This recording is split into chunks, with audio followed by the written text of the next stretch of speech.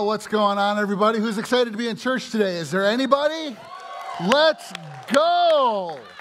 Best response you've had yet this fall. So, way to be.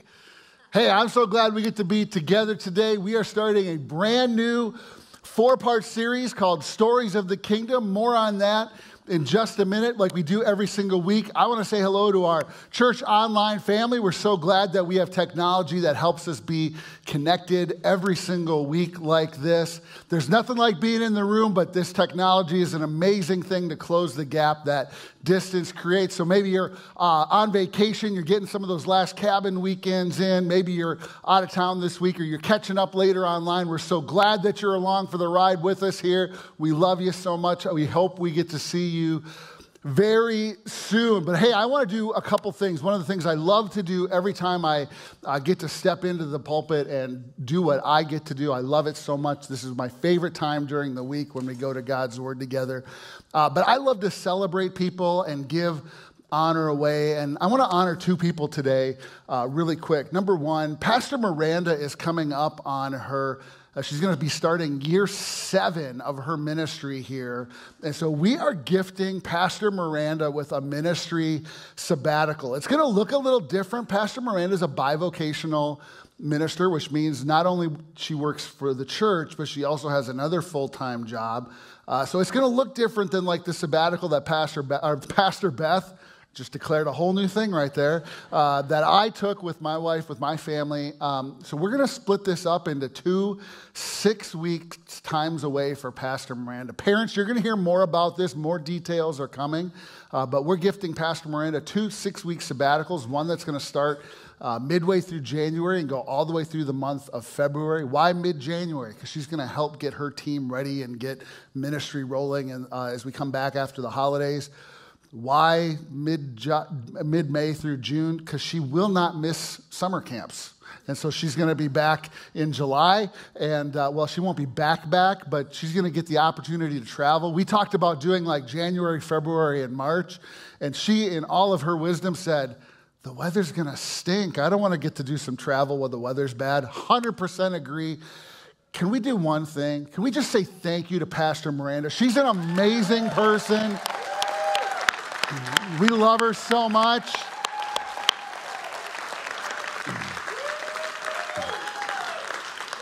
All of our staff are amazing, but we love to be in a position as a church.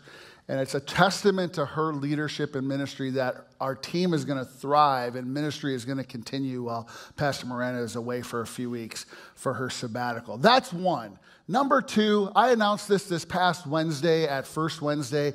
But if you would mark your calendars for the first Wednesday service happening on November 2nd. Our predecessors, our pastor, my family's pastor, Pastor Pete and Diane Drake will be returning to Real Life Church, and we love them so much. We're excited that we get to have them back speaking life uh, Pastor Pete and I, we've just been having conversations as what does it mean for a church to be led by the Spirit? And so I think it's going to be an amazing time. Um, Pastor Pete and Diane pastored real life from January of 1997 through April of 2017. So nearly a 20 year run. It was a little over 19 years. So they are generational pastors for our church. If you haven't met them yet, don't miss that night. It's going to be an amazing time. You're going to fall in love with a couple that Beth and I love so dearly. So we're excited for that. If you are new with us here at Real Life, we want to say that we're so glad that you're with us. I think you're coming in at a great time here in the fall, and lots of exciting things are happening. But I want to tell you here's how we're going to wrap up our time together today.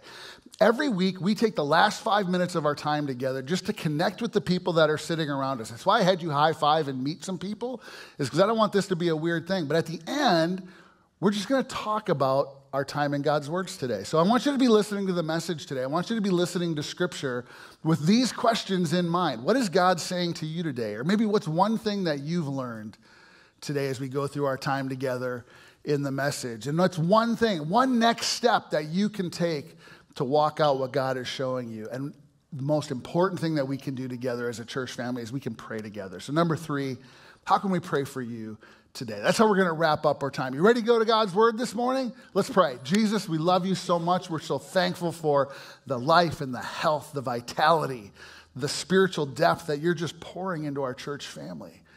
We're experiencing some renewal, and it's an amazing thing. It's all centered around you. It's not about what we're doing, it's about what you're doing. And so, these moments as we go to your word, it's an opportunity for you to speak over us. And so, Holy Spirit, how we would say this is we, we invite you. It sounds an audacious thing, but we invite you into this moment. Be moving and speaking to us, moving in our minds and in our hearts, moving through us as we interact with each other. Lord, we're here to encounter you. So, would you meet with us as we go to your word? And we pray this in your name. And everyone said, Amen. Amen. amen. I was having a conversation with a, a friend of mine, an out of state friend of mine and he was asking me the question, Are you ready for winter? And so after I slapped him and apologized, um, well, you know, we had frost this week, right? Like it, it's right around the corner and we know it. But he was asking questions like, How can you stand it? Like, I've got, you know, a sister that lives out in LA. When are you moving out? You know, and like my browser history has more and more Zillow things as I'm looking at houses. We're not moving. Um, we, but you know, as Minnesotans, let's just be real. We're kind of proud of our winters. Yeah. Like, we're proud that we make it through, like, we tough it out. Um, at least I do. But I, there's one thing I can't abide.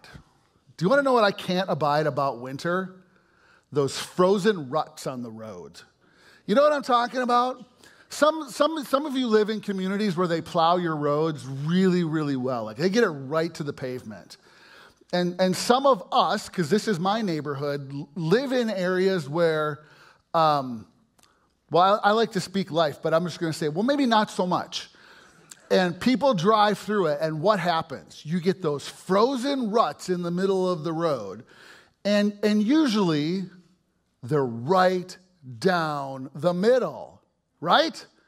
And then you got that moment where you're coming up and you're in a rut, and so is the car that's coming your way they're in the same rut. And what happens? That steering wheel, like it fights to stay inside of that rut. It's, it's almost like every winter we're driving on an old kid's slot car track. Who remembers those amazing slot car tracks? Like, greatest thing ever. Uh, by the way, if you're an Amazon subscriber, you got your kids' toy catalog in the mail this week. Amazing. I didn't see a slot car track. I want a slot car track. Listen, we got a number of responses on our annual Easter survey. Parenting, that's why we just did a parenting series. Parenting was number one. The number two response that we got on our Easter survey was How do I get out of a spiritual rut? That's a really interesting question, isn't it? How do I get out of a spiritual rut? I think I know what you mean by that.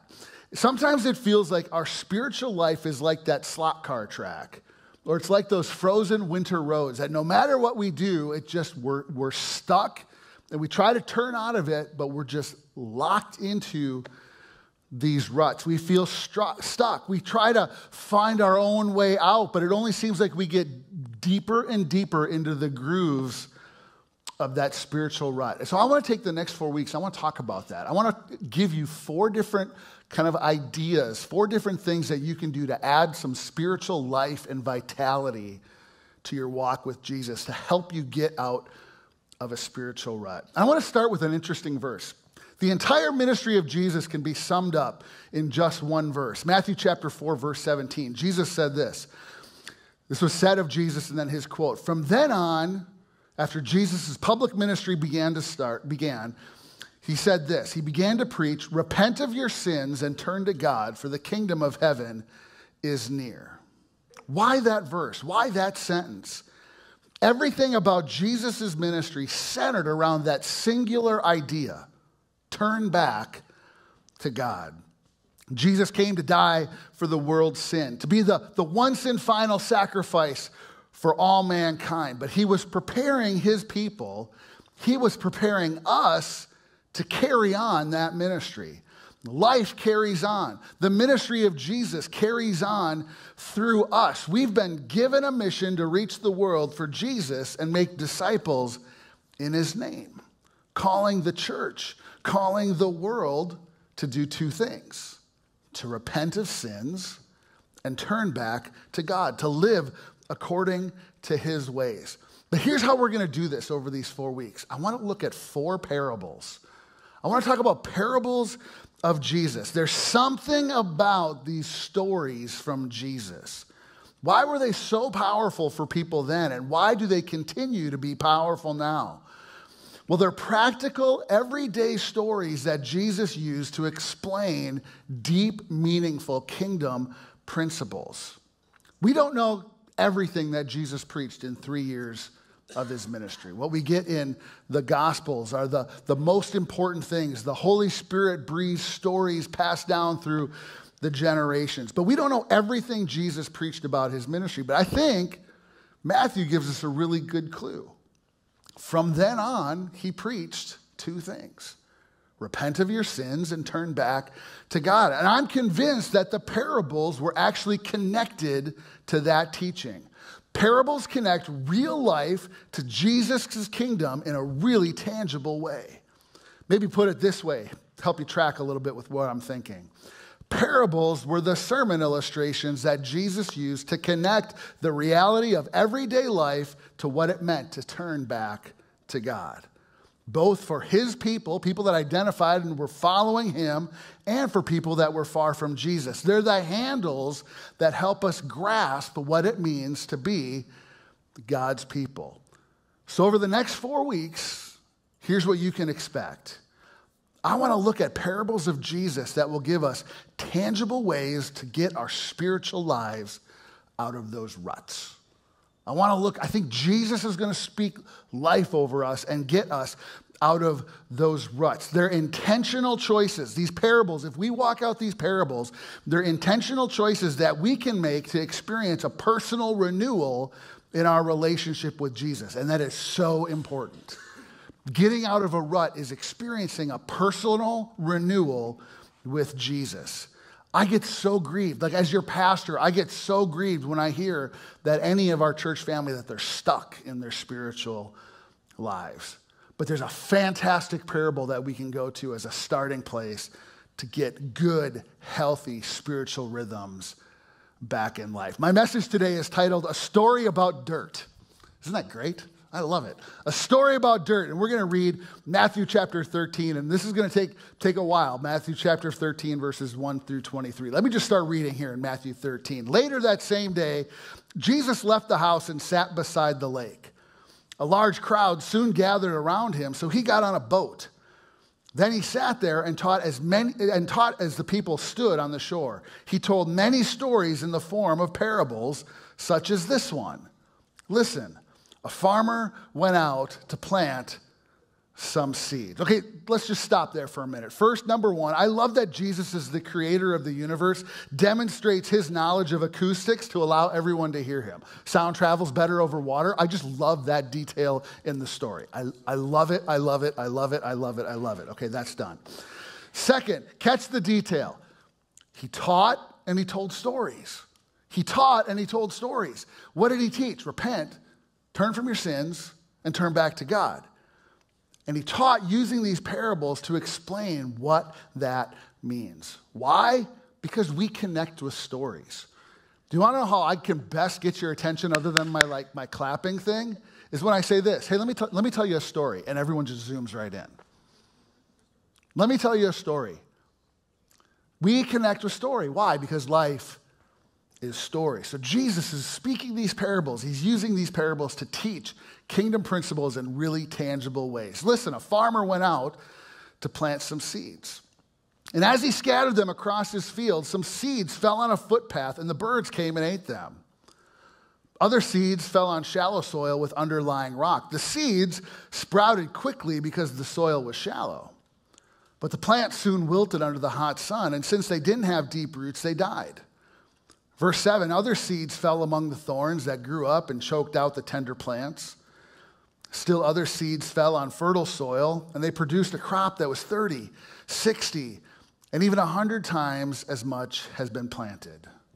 Anyone with ears to hear should listen and understand. Luke chapter 8 actually records this same parable. There's a lot here to unpack. Jesus is on the water with a crowd that's gathered around him to hear him teach. Actually, Luke gives us an additional detail and says they've gathered from many towns all around the area to come and hear him teach. They'd heard of Jesus, they'd heard of his miracles. Maybe they'd even seen him perform miracles. He's gaining a reputation as someone you want to go and hear. People from all over Judea and all over Galilee are becoming his followers. So here he is on the water teaching about the kingdom of God, and he starts with a story about seeds and soil. Rather than asking what the meaning of the story is, look what the disciples ask him. The disciples came and asked him in verse 10 Why do you use parables when you talk to the people? Verse 11, Jesus replied, You're permitted to understand the secrets of the kingdom, but others aren't. To those who listen to my teaching, more understanding will be given, and they will have an abundance of knowledge. But for those who are not listening, even what little understanding they have will be taken away from them. This is why I use parables. They look, but they don't see. They hear, but they don't really listen or understand. You've seen that moment as you're having conversations with someone, right? That moment where you know they're hearing, but they're not really listening. Parents, all the time. You see that glazed over look. Listen, Jesus understood. Jesus understood that the hearts of some were hardened toward him. A whole generation of people missed that he was the Messiah. They were actually the ones that should have been the, the ones to usher in the kingdom of heaven. The parable is a warning. Don't let your heart harden toward God. It's part of the ongoing story of being the people of God. What's the story? People would fall away from God, they'd turn their hearts back turn the page, especially when you're in the Old Testament and the history. They turn to God, they'd fall away. They turn to God, they'd fall away. Jesus is saying if they were really paying attention, if they were actually listening, this parable, this story would help them understand. They would have caught this pattern. It's from their own history, it's their story. And for so many of us, it's our story. Jesus isn't hiding the kingdom of God or making it a mystery. He's actually unveiling it and demonstrating it to us. Look at Hosea chapter 10, verse 12. God is speaking through the prophet Hosea. I said, I plant the seed, good seeds of righteousness, and you harvest a crop of love. Isn't that interesting? Plant the good seeds of righteousness, and you will harvest a crop of love. Look at that. Plow up the hard ground of your hearts for now is the time to seek the Lord, that he may come and shower righteousness upon you. Jesus is reaching back into their story with a tangible handle for this truth. He's teaching a kingdom principle right from their own story. If you want to hear from God, if you want uh, to, your roots to grow down deep, that's been a verse we've been sharing out of Colossians a lot lately. If you want your roots to grow down deep, you have to get out of a spiritual rut. He's using a, a farming metaphor, familiar for them, somewhat familiar to us. He's telling a story. Hey, you can experience a deep, abiding abundance in me, but there's a responsibility on you. You have to do your part. You have to prepare your heart so the seed has a healthy place to grow. Maybe say it a different way. You need to cultivate your heart in order to experience lasting spiritual growth. You need to cultivate your heart, the soil of your heart, in order to experience lasting spiritual growth. It's not up to others, it's not up to me to do this for you. The only person that can do the work of preparing your hearts is you. Jesus is warning his people you'll miss me. You will miss my kingdom if you don't do the work. Grace is free. Don't ever get me wrong on this. Grace is free. Forgiveness is free. It's done, signed, sealed, and delivered by Jesus. Grace by faith. Forgiveness of sins is through grace by faith, and that's it. But spiritual work is a discipline. Spiritual growth is a discipline. It's work. You have to do the work of cultivating your heart. And if we don't do the work of preparing our hearts, nothing is going to grow. The Jesus way isn't going to take. And look how Jesus tells his people what this means. Matthew doesn't record this, this particular detail, but Luke records Jesus explaining the parable to people. And he says this in verse 11 of Luke 8 This is the meaning of the parable the seed is God's word. Let's just get it out there and define the terms of the story. The seed is in life, it is in circumstances, it isn't money, it's not your spouse or your kids. The seed is God's word. End of Satan. Which means Jesus is the farmer. God's word is the seed, and Jesus is the farmer. He's spreading his word, calling everyone to be his people. And Jesus is giving a real world, tangible, practical example of the kind of hearts that his word finds. What's he saying to us? It's up to you to determine the kind of soil that your heart is. Well, what kind of hearts do we find? There's actually four in here. The first one is a tainted heart.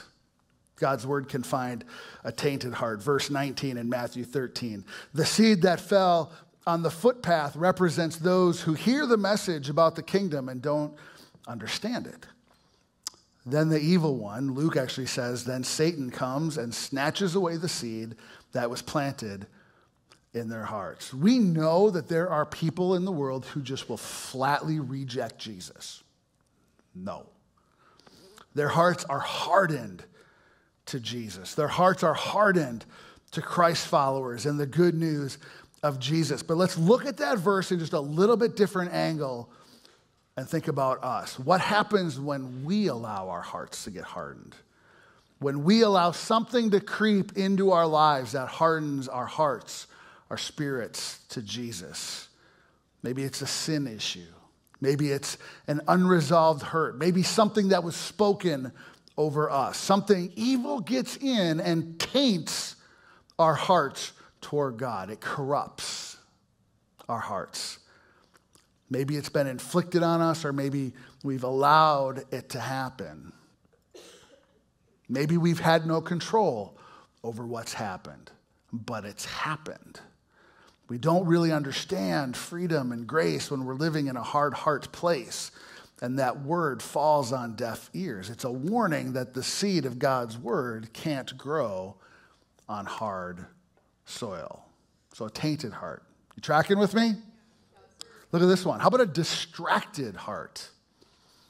Verse 20 The seed on the rocky soil represents those who hear the message and immediately receive it with joy. This is good news.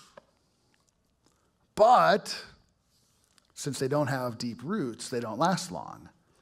What happens? Well, they fall away as soon as they have problems or are persecuted for believing God's word. I thought life was supposed to get easier when we followed Jesus. Have you ever had your yard replaced with brand new sod? Anybody? Like completely taken away and all new sod. There's nothing more satisfying than perfectly manicured new grass.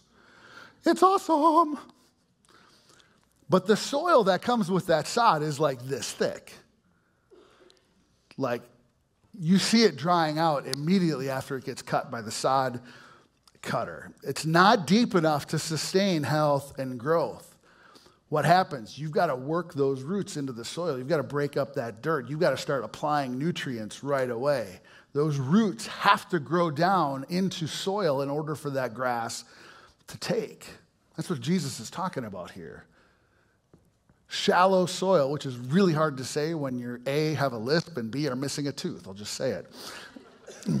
Shallow soil. It takes intentional thought. Someone hears the good news of Jesus. This is exciting. My life is going to change. I can't believe what Jesus has done for me. But as, as soon as something bad happens, because those roots haven't gotten down deep, they haven't sustained their growth, as soon as there's a challenge, they wither. They stop growing. There wasn't enough there. Life distracts, it pulls attention away because they haven't done the work of growing down deep roots. If there isn't any work to grow those roots down deep, there's no foundation for sustained health. This person loves God. The good news is good news, but they get distracted. God isn't on their mind and on their hearts. They're not doing the work of preparing the soil that's all about refocusing life on God. They're distracted. So we need to refocus. We need to do the work. If this is you, if life is distracting, if you don't feel like you've gotten grown down deep, re engage with his words. Like someone, someone might hear the words, you have to re engage with spiritual disciplines and go, Ugh. Spiritual disciplines is where life and health happens after salvation. Good, healthy, spiritual rhythm. So a tainted heart, a distracted heart. Number three, just call it what it is an immature heart. There's an immaturity. Verse 22 the seed that fell among the thorns represent those who hear God's word, but all too quickly the message is crowded out by the worries of life and the lure of wealth. So no fruit is produced. It isn't wrong to be immature in the Lord. Everyone starts off as a baby Christian. That's okay. That's what happens. The trap is getting stuck and staying there, never growing. Paul has an admonition you have to get off the milk and have some meat. Have to do the work of cultivating our hearts, doing the work to provide a stable atmosphere for growth. The warning from Jesus is if we stay immature, if we don't do the work of growing in health in freedom, if we don't deal with issues from our past and move forward with our faith, everything else in life will cut off all the growth of good health.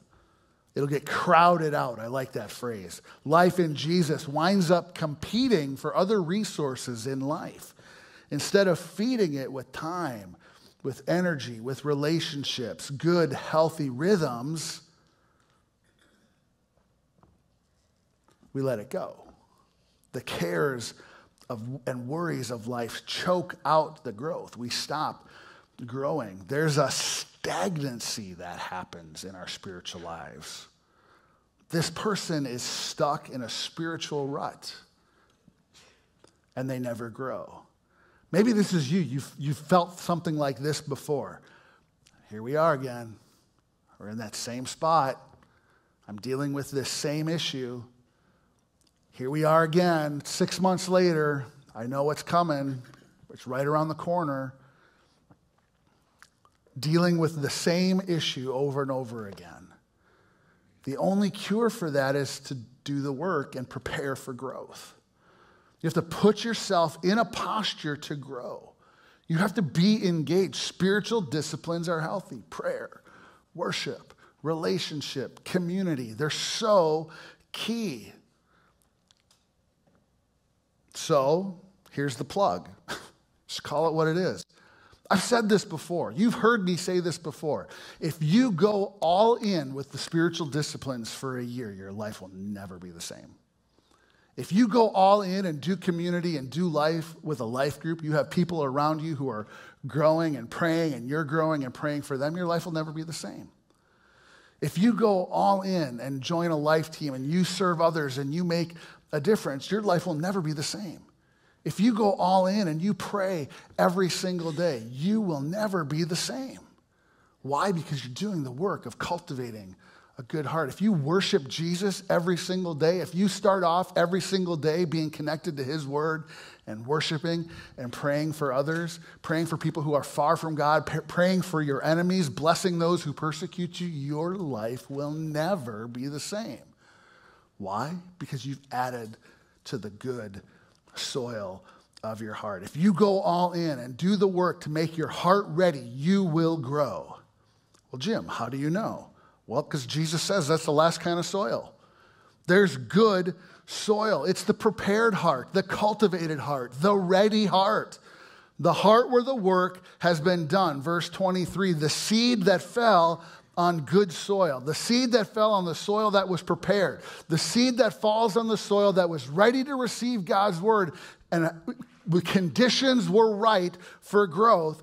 Represents those who truly hear and understand God's word. And what happens? It's not just for you. There's a harvest of righteousness, a harvest of 30, 60, or even 100 times as much has been planted because you're created to make a difference in the lives of other people. If you come over to my house, let me tell you a story. See what I did there? If you come over to my house, you will be astounded, flabbergasted, better words, confounded, mystic, bamboozled, perplexed. You will be astonished at how bad my grass is.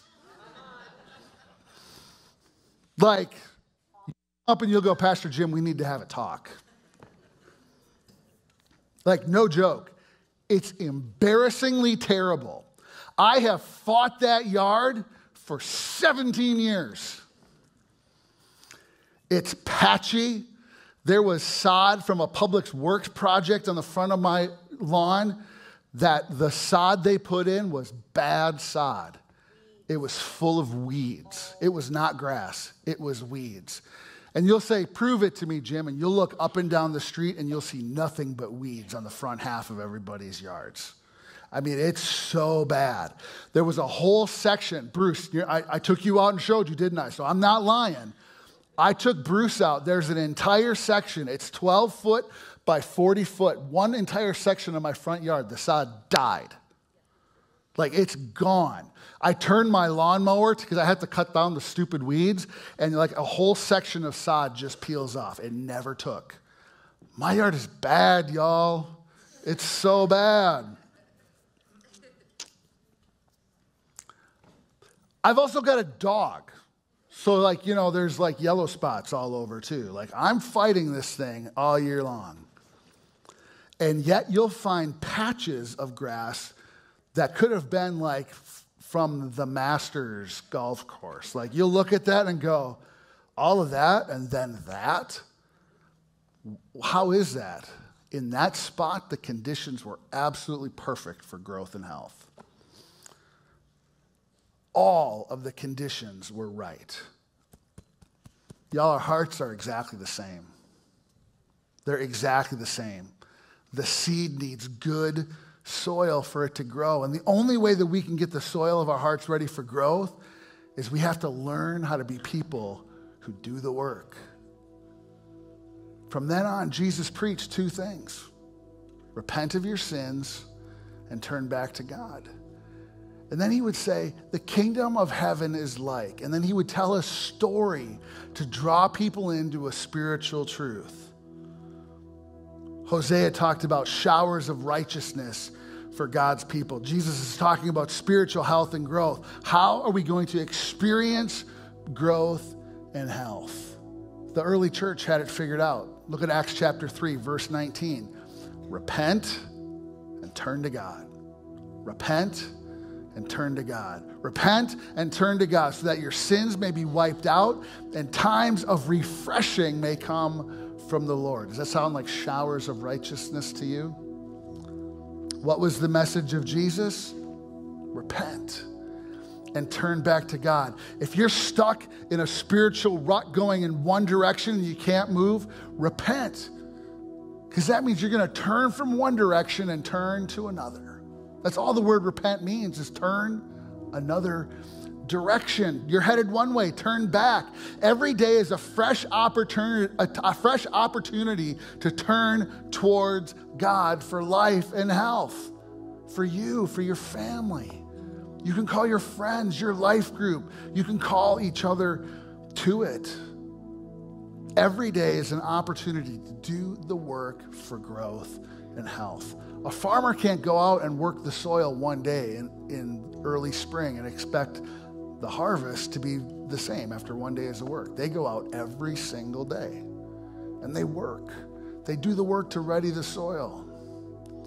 Our hearts are the same way. Jesus is saying, Your hearts are just like this. Repent and turn back to God. Your hearts have to be ready. Can I give you a great question to ask every single day to posture yourself for spiritual growth? Holy Spirit, will you help me grow? Like, just ask. Just ask put yourself in a posture for growth. Lord, show me what corners of my heart need tilling. Show me what dark corners of my life need some work done that you can bring life and health. Being a people of spiritual disciplines, a people of prayer, a people of worship, a people of community. Like, Lord, help me do these things so that my heart is ready to produce life in myself and in others. Produce fruit in every area of my life so that the people around me are different because they saw you reflected in my life. That's a harvest of righteousness. Do you want to get out of a spiritual rut? Are you tired of the same old, same old? Holy Spirit, show me, help me grow. And the Holy Spirit's going to say, repent and turn back to God. Every single day, your sins are forgiven, but we get to repent and turn towards God every single day. It's the only way we're going to see personal renewal spiritual growth, health, and can I say it for our church family? It's the only way we're going to experience revival as a people. Repent and turn back to God. Let me pray with you this morning. Lord, we live in a, a suburb, an inner ring suburb of one of the largest pair of cities in the United States. And so sometimes it's hard for us as we read uh, an agricultural story to really get our hearts lined up. But as it's fall and as we drive around out of the state, we see the leaves turning and we see combines out in the field doing the work of a harvest. Lord, this lands for us. But what lands more for us in this moment is that you took the time to explain the kind of spots our hearts can be in. That our hearts can be corrupted, distracted, or immature. And I think, Holy Spirit, what you're doing in this moment right now is you're convicting each of us. Like, none of us have this perfectly. We all have areas where we can do the work to grow and ready the soil of our hearts. Lord, we want to be a people whose hearts are ready for your word. We want to be a people. Holy Spirit, we want to be a people who you are working in and through to impact other people. Lord, we want to see those sh- that shower of righteousness, those times of refreshing come not just for our church, but the people that are all around us. We want to experience a personal renewal, like we want to be revived in our own hearts. Our church, we want to be revived so that we have an impact on these neighbors all up and down our street. It's not about a trunk or treat or events or anything like that. It's about your spirit at work in us and through us, impacting the people that are all around us. And we know we have to do the work first. So we repent. You're speaking things into us right now, Lord, areas of our lives that we need to repent and turn from. Maybe it's repenting and turning away from social media and turning back to you. Maybe it's repenting and turn, turning away from an unhealthy or toxic relationship that's polluting or distracting our hearts. We repent and we return back to you. Maybe it's first and foremost that we haven't repented of our sins, that we've never accepted you as Savior. That's step one. Lord, you went to a cross and you paid the price for our sins. Your word says that we can confess with our mouths, believe in our hearts, and confess with our mouths that you are Lord, you are just and right to forgive us. That even when we were still enemies, you paid the price for our sins. We repent and we turn back to you. We want to be a people of the good soil. And we pray it in your name. Amen. Church, you want to experience renewal and revival? Let's do the work.